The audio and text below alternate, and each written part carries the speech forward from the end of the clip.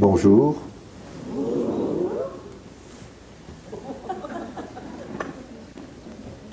Ça vous fait rire, bonjour. Pourquoi ça vous fait rire?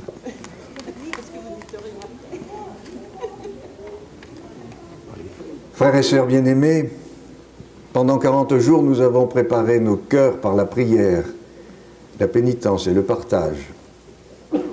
Et nous voici rassemblés au début de la Semaine sainte pour commencer avec toute l'Église la célébration du mystère pascal. Aujourd'hui, le Christ entre à Jérusalem, la ville sainte, où il va mourir et ressusciter. Mettons notre foi à rappeler maintenant le souvenir de cette entrée triomphale de notre Sauveur. Suivons-le dans sa passion jusqu'à la croix pour avoir part à sa résurrection et à sa vie. Prions le Seigneur. Dieu Tout-Puissant, d'aide de bénir ces rameaux que nous portons pour fêter le Christ notre Roi, accorde-nous d'entrer avec lui dans la Jérusalem éternelle, lui qui vit et règne avec toi pour les siècles des siècles.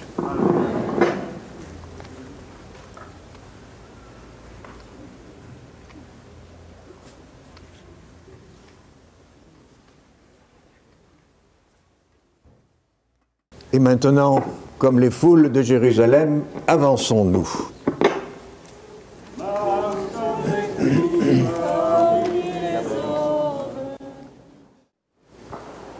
J'ai reçu un appel téléphonique du fils d'un de mes amis, 10 ans,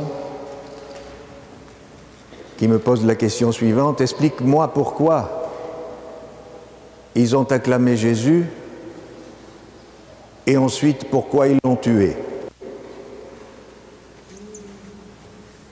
J'ai essayé de lui expliquer que la société Kleenex existait bien avant l'invention du Kleenex. J'ai essayé de lui expliquer la versabilité d'une foule qui change d'avis pour un oui ou pour un non selon celui qui a crié le plus fort. J'ai essayé de lui expliquer aussi la fragilité humaine qui fait que selon nos propres intérêts, nous pouvons changer d'avis assez facilement. En effet, Jésus est acclamé. Un texte nous dit d'ailleurs que ceux qui se manifestaient le plus vivement pour accueillir Jésus étaient les enfants et les jeunes. Peut-être à cause de leur capacité et leur soif de justice et de vérité, qui peut s'émousser avec le temps lorsqu'on devient adulte. Et puis il y a ceux, les, les grincheux, les vieux acariâtres, qui ne comprennent pas très bien quelles sont ces manifestations autour de Jésus. Quel est ce tapage? Quel est ce bruit-là Pourquoi tout ça autour de ce Jésus? Alors je me demande ce matin, les uns et les autres, de quel côté nous nous situons? Est-ce que nous sommes du côté de ces enfants et de ces jeunes? Qui ont soif de justice, de vérité, d'amour ou de ces puissants bien installés que sont les grincheux, avides de bondir sur la moindre critique possible. Tout à l'heure, en vous regardant, au risque de vous choquer, je me disais, si, m'adressant à cette assemblée, je disais la chose suivante. Les calomnieurs sortaient. Les médisants sortaient. Les jaloux sortaient. Les divorcés remariés sortaient. Les lesbiennes et les homosexuels, sortez. Ceux qui ont trompé leur femme ou trompé leur mari, sortez.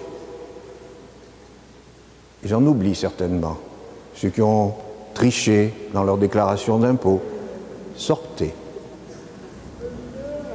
Je crains qu'il ne reste pas grand monde dans notre assemblée, sauf quelques prétentieux, bien sûr, qui ont le sentiment d'être parfaits Eh bien, je voudrais dire à celles et ceux qui se sont reconnus dans ce que je viens de dire, quand j'espère qu'il y en a, c'est pour eux et pour elles que le Christ a donné son sang. Pour leur ouvrir, pour nous ouvrir ce chemin de conversion. Et à celles et ceux que je viens de, désigner, ce que le pape François, d'ailleurs, parlant du peuple de Dieu, appelle un hôpital de campagne, car nous sommes tous un peu malades. Si ça n'est pas physiquement, c'est dans notre cœur. Eh bien, cela, le Christ dit, je t'aime, je t'aime. Et si tu veux, je suis à tes côtés pour te conduire sur un chemin de conversion car seul l'amour sauve. Seul l'amour sauve.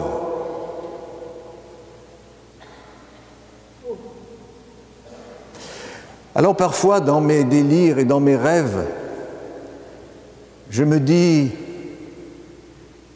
quand est-ce que l'Église, quand est-ce que les chrétiens,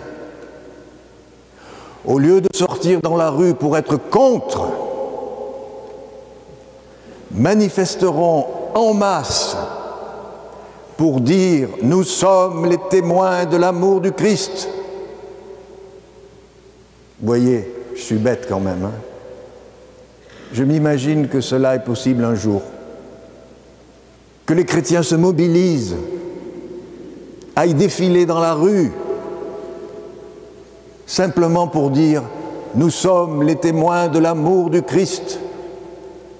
Et quelle que soit votre situation de vie, quelle que soit la gravité de votre péché, vous êtes aimé. Vous êtes aimé. Alors ras-le-bol, ras-le-bol de ces grincheux aigris qui ne pensent qu'à nuire, qui ne pensent qu'à critiquer, Ouvrons notre cœur, ouvrons notre cœur pour nous laisser aimer par le Christ. Et c'est alors que nous pourrons changer, c'est alors que l'Église et les chrétiens donneront un autre visage. C'est d'alors que nous donnerons l'envie d'être rejoints, d'être rejoints, parce que l'Église et les communautés chrétiennes seront un lieu où le bonheur d'être ensemble s'ouvrira. Et parce que je suis le pire des pécheurs, je sais que l'on ne montrera pas du doigt, mais qu'au contraire, on va m'aimer et m'aider à sortir de mon péché et m'aider à sortir de ce dans quoi je m'englue toujours davantage, parce que personne ne me tend la main, mais parce qu'on me montre du doigt.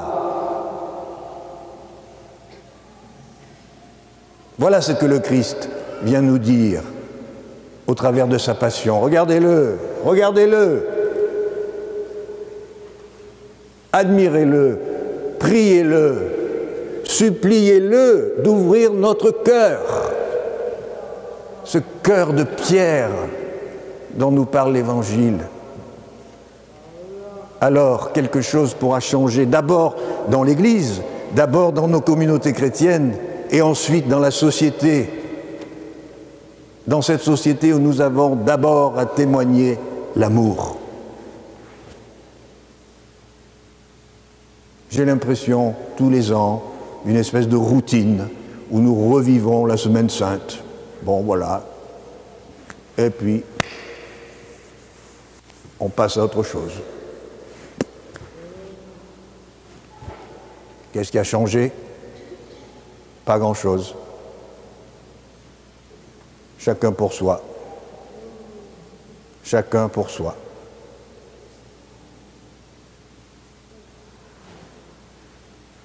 Je garde quand même l'espoir que ces fêtes de Pâques de 2014 feront que quelque chose va changer.